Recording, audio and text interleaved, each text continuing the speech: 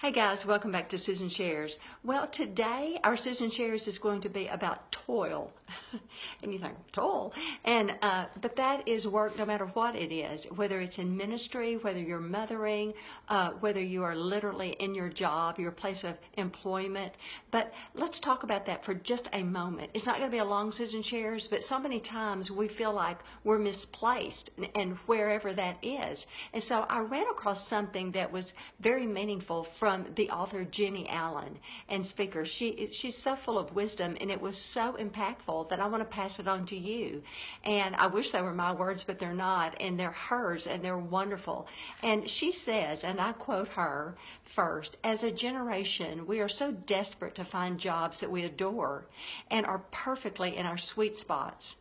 But it's not a realistic view of work. So whether it's mothering, medicine, CEO, sales, teaching, ministry, writing, or so on, it is important to remember toil in work was a part of the curse and it is difficult and you do the things that you don't like because it's right and obedient and holy.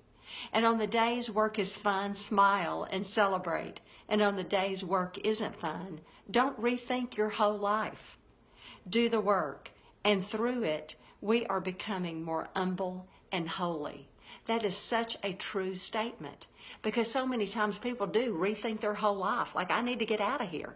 I need to quit. I, this is not the ministry God's called me to do. This is not the job God's called me to do. I'm not cut out to be the mother that God thinks that I am. Yes, you are. God didn't make a mistake. He didn't make a mistake.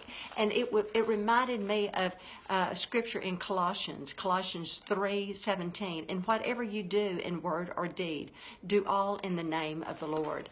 And it changes when you think that all that we do, do in the name of the Lord. So, in other words, as I've said before in uh, on a Susan Shares, it changes your perspective when you say, God, let's do this thing together.